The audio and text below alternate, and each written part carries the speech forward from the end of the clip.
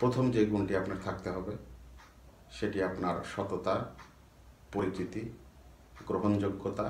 Hi friends কেমন আছেন আপনারা? আশা করি সবাই ভালো আছেন, আমিও ভালো আছি।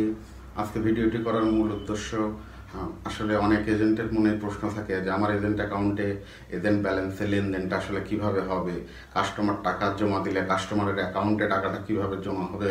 অথবা কাস্টমার উঠাইতে টাকা উঠাইতে আসলে তখন আমি কি করব? তখন আমি যে আমার এখান থেকে টাকাটা দিব ক্যাশের থেকে যে টাকাটা দিব সেই টাকাটা আমি আবার পরবর্তীতে কীভাবে ফেরত পাবো? তো এই জিনি- এই ব্যাপারটি বোঝানোর জন্য আজকে ভিডিওটি লেনদেন কীভাবে হয়? অনেক এজেন্ট পয়েন্টে যখন এজেন্ট নতুন এজেন্ট নিতে আসে তখন শুরুতেই তারা ব্যাপারটি অনেকেই বুঝতে পারে না।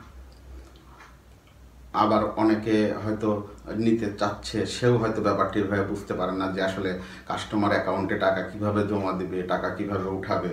আমি এই ব্যাপারটি আপনাদেরকে পরিষ্কারভাবে ধারণা দেওয়ার চেষ্টা করব যে আসলে কীভাবে এই অপারেশনটা হয়, কীভাবে কাস্টমারের অ্যাকাউন্টে টাকাটা ডিপোজিট হয়, কীভাবে কাস্টমার টাকা উইথড্র করে তার অ্যাকাউন্ট থেকে। মূলত এই ব্যাপারটি নিয়ে কথা বলব। এখানে আপনাদের বোঝার সুবিধার্থে আপনারা যাতে সহজে বুঝতে পারেন, সেই জন্য আমি এটাকে কয়েকটি পর্যায়ে ভাগ করেছি। তার মধ্যে আমি প্রথমে যদি এজেন্ট পয়েন্টের কথা ধরি, তাহলে আমি বলব এখানে দুইটি ভাগ। একটি এজেন্টের ভোল্ট মানে ক্যাশ দ্বিতীয়টি এজেন্টের মাদার অ্যাকাউন্ট গ্রাহকের জন্য আমি এখানে দুই ধরনের ট্রানজ্যাকশনের কথা বলব।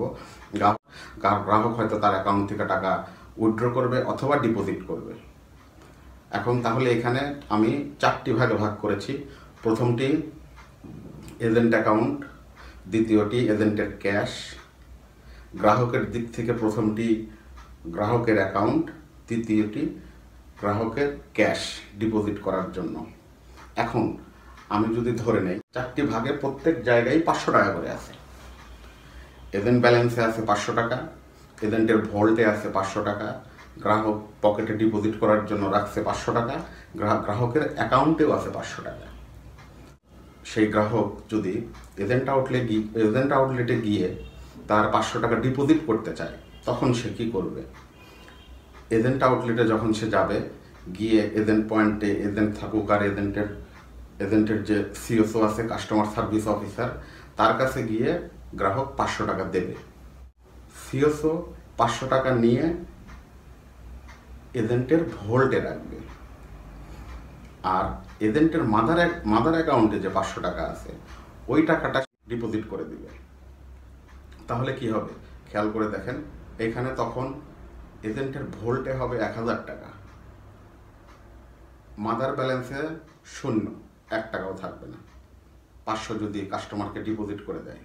কাস্টমারের অ্যাকাউন্টে গিয়ে পাঁচশো টাকা জমা হয়ে যাবে। তার মানে কাস্টমারের অ্যাকাউন্টে গিয়ে তখন গিয়ে হবে? এক হাজার টাকা।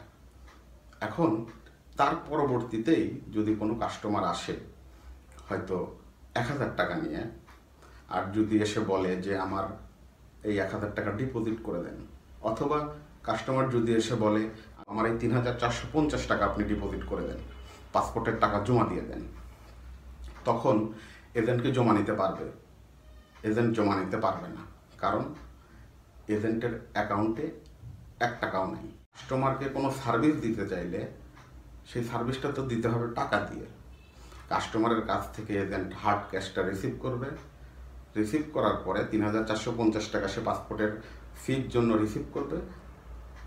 আর তার মাদার অ্যাকাউন্ট থেকে তিন হাজার চারশো পঞ্চাশ টাকা পাসপোর্ট ফি হিসাবে জমা দেবে। এখানে যেহেতু এজেন্টের টোটাল ইনভেস্টই এক হাজার টাকা, এজেন্ট ব্যালেন্সে পাঁচশো, ভোল্টে পাঁচশো। তাহলে সে তার মাদার ব্যালেন্স একবার যখন পাঁচশো টাকা ডিপোজিট হয়ে গেছে, তখন তার অ্যাকাউন্টে কিন্তু আর কোনো টাকা নেই মাদার অ্যাকাউন্টে কোনো টাকা নেই। তার মানে তখন সে এক টাকাও অন্য কোথাও জমা দিতে জমা দিতে পারবে না। হোক সেটা অ্যাকাউন্টে হোক সেটা পল্লী বিদ্যুৎ বিল অথবা পাসপোর্ট ফি এই জন্যই আমরা সব সময় বলি যে এজেন্ট আউটলেটের বিজনেস করতে হলে অবশ্য আপ- অবশ্যই আপনার টাকা থাকতে হবে। আপনার যদি টাকা না থাকে, তাহলে কিন্তু কাস্টমারকে আপনি সার্ভিস দিতে পারবেন না। যখন মানুষ কাস্টমারকে সার্ভিস দেবেন না, তখন আপনার ব্যাংকের দুর্নাম হবে, আপনার দুর্নাম হবে। আপনি যদি পর্যাপ্ত ইনভেস্ট না রাখেন, তাহলে এরকম অল্প টাকা যদি ইনভেস্ট থাকে, তাহলে কাস্টমার ওখান থেকে আপনার কাছে বারবার ফেরত যাবে। বারবার ফেরত যাওয়ার কারণে একটা সময় আসবে যখন আর কাস্টমার আপনার অফিসে যাবেই না। এইবার আসি উইড্রোর বেলায়। ডিপোজিটটা আশা করি আপনারা বুঝতে পারছেন। যে একজন কাস্টমারকে সার্ভিস দেওয়ার পরে অন্য আর একজন কাস্টমার অফিসে আসছে, সে এসে বলছে যে, আমার পাঁচশো টাকা উইড্রো করতে হবে। তখন সে কি করবে? কাস্টমার যখন সিস্টেম থেকে পাঁচশো টাকা উইথড্র করবে, তার অ্যাকাউন্ট থেকে পাঁচশো টাকা উইথড্র করবে তখন কাস্টমারের অ্যাকাউন্টের পাঁচশো টাকা এজেন্টের মাদার অ্যাকাউন্টে গিয়ে জমা হবে। আর এজেন্টকে যেটা করতে হবে এজেন্ট তার ভোল্টেজে এক হাজার টাকা আছে, সেখান থেকে পাঁচশো টাকা কাস্টমারকে দিয়ে দিবে। তো আসলে ডিপোজিট উইথড্র এভাবেই হয়। ব্যাংকিংয়ের জন্য যে কয়েকটি ব্যাপার অবশ্যই অবশ্যই খেয়াল রাখতে হবে। তার মধ্যে অন্যতম ডিপোজিট অন্যতম হলো লিকুইড মানি এজেন্টের আর্থিক সচ্ছলতা, সামর্থ্য। কোনো এজেন্টের যদি আর্থিক সামর্থ্য না থাকে, তার যদি পর্যাপ্ত পরিমাণে ক্যাশ না থাকে, তাহলে সে এখান থেকে কোনো ধরনের কমিশনই পাবে না। এখানে সবসময় একটি ব্যাপার খেয়াল রাখা দরকার, যে এজেন্ট আউটলেটের এই বিজনেসে ব্যাংকের নিয়োগকৃত যে এজেন্ট, সে কমিশনটা পায় মূলত সার্ভিস দিয়ে। আর এই বিজনেসের সার্ভিস দিতে হয় টাকা দিয়ে। এখানে শারীরিক কোনো পরিশ্রমের ব্যাপার নেই। এখানে সার্ভিসটা পুরোপুরি দিতে হবে টাকা দিয়ে। যখন আপনি সার্ভিস দেবেন, তখনই ব্যাংক ওইখান থেকে হয়তো পঞ্চাশ পয়সা প্রফিট করবে। সেই পঞ্চাশ পয়সা প্রফিটের একটা অংশ আপনি পাবেন। ব্যাংক যদি আপনার আউটলেট থেকে, আপনার অফিস থেকে কোনো প্রফিট না করতে পারে, তাহলে আপনিও পাবেন না। তাহলে আপনিও কিছু পাবেন না। এই জন্য যদি এই বিজনেসে যারা আসতে চান অথবা যারা আসছেন তাদেরকে আমি বলব যে সবার এই বিজনেসে যারাই ভালো করতে চান, তাদের অবশ্য, অবশ্যই পর্যাপ্ত লিকুইড মানি রাখতে হবে, পর্যাপ্ত টাকা রাখতে হবে। টাকা ছাড়া আপনি কাস্টমারকে সার্ভিস দিতে পারবেন না। আর যখন সার্ভিস দিতে পারবেন না, তখন আপনার কোনো কমিশনও তো আপনার যেটা করতে হবে, এই বিজনেসে আসতে চাই এজেন্ট ব্যাংকিং বিজনেসের জন্য তিনটি জিনিস সবসময় অত্যন্ত জরুরি। প্রথম যে গুণটি আপনার থাকতে হবে, সেটি আপনার সততা, পরিচিতি, গ্রহণযোগ্যতা, বিশ্বস্ততা। এটা মাস্ট প্রথমেই এটা লাগবে। যে জিনিসটি লাগবে, সেটি হলো পর্যাপ্ত পরিমাণ ক্যাশ টাকা। টাকা ছাড়া এই বিজনেসে আপনি কিচ্ছু করতে পারবেন না। তিন নম্বরের যে জিনিসটি, সেইটা আমি বলব যে আপনার অফিসের ডেকোরেশন ডেকোরেশন এখানে অনেক বড় একটি ফ্যাক্ট মানুষ, এখন সব মানুষই ব্যাংক দেখে দেখে অভ্যস্ত। হঠাৎ করে আপনি বলবেন যে আমি এখানে ব্যাংক করছি, আপনি আসেন।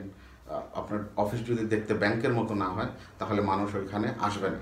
মানুষ বিশ্বাসই করবে না যে আপনার এখানে ব্যাংকিং করা যায় ব্যাংক ব্যাংকিং সেবা দেওয়া হয়। তো এই তিনটি জিনিস যে এজেন্ট শুরু থেকেই মেনটেন করতে পারবেন, তা আমার বিশ্বাস আল্লাহ যদি সহায় হয়, এখান থেকে আপনি খুব দ্রুত প্রফিট করতে পারবেন। প্লাস আরেকটি কথা বলব, এই বিজনেসে আপনি যদি প্রফিটে যেতে পারেন, আপনি নিচের দিকে ফল করার সম্ভাবনা নাই। আপনার এজেন্ট কমিশন ধীরে ধীরে ধীরে ধীরে বাড়তেই থাকবে। আরেকটি ব্যাপার আমি না বললেই নয়, হতাশ হবেন না। আসলে এখানে যারা আছে হতাশ হওয়ার কিছু নাই। আপনি যদি, আপনার কাছে যদি এই তিনটি জিনিস থাকে, তাহলে অবশ্যই আপনি এই বিজনেস থেকে প্রফিট করতে পারবেন। ধন্যবাদ, সবাই ভালো থাকবেন।